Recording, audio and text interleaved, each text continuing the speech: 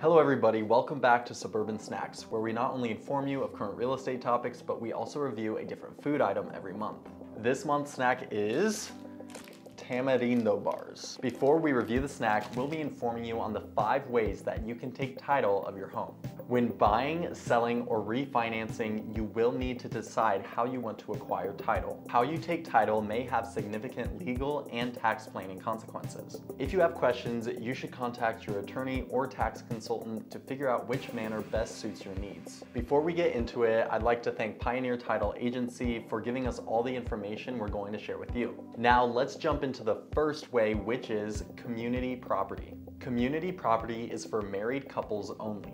Arizona is a community property state. This means by statute that all property acquired during a marriage is presumed to be community property, except that acquired by gift, descent, devise, or unless another form of ownership is expressly stated. The interest of the deceased spouse passes by a will or intestate succession, generally through probate proceedings. The second way is through community property with right of survivorship, which is also for married couples only. This is co-ownership by a married couple when expressly stated through the vesting document. Upon the death of one spouse, title vests in the surviving. Frick. Upon the death of one spouse, title vests in the surviving spouse without the need for probate proceedings. This manner of holding title may have tax advantages that are not available to other forms of ownership. The third way is through joint tenants with rights of survivorship. This is co-ownership between individuals in which title to a descendant's interest passes to the surviving joint tenants without the need for probate proceedings. The last surviving joint tenant acquires full title to the property property. The fourth way is tenants in common. This is co-ownership between individuals and or entities who do not have survivorship rights.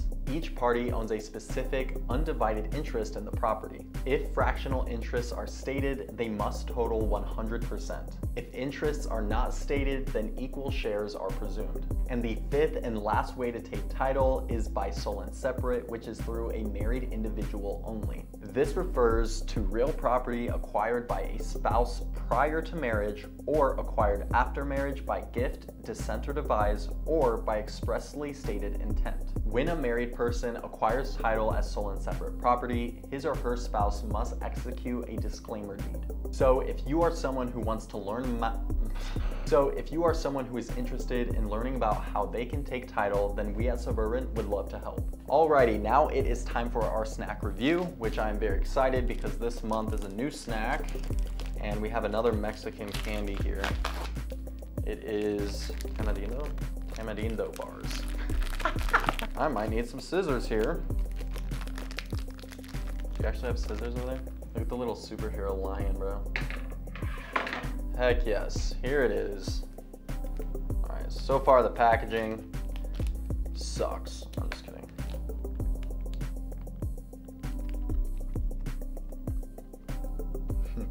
tastes like an, like an eccentric fruit roll-up or something. That's actually really good, super fruity. Highly recommend. We'll see how the rest of the crew thinks about them. If you guys have tried these, make sure to let us know in the comments below what you think about them. That's going to do it for us here at Suburban Snacks.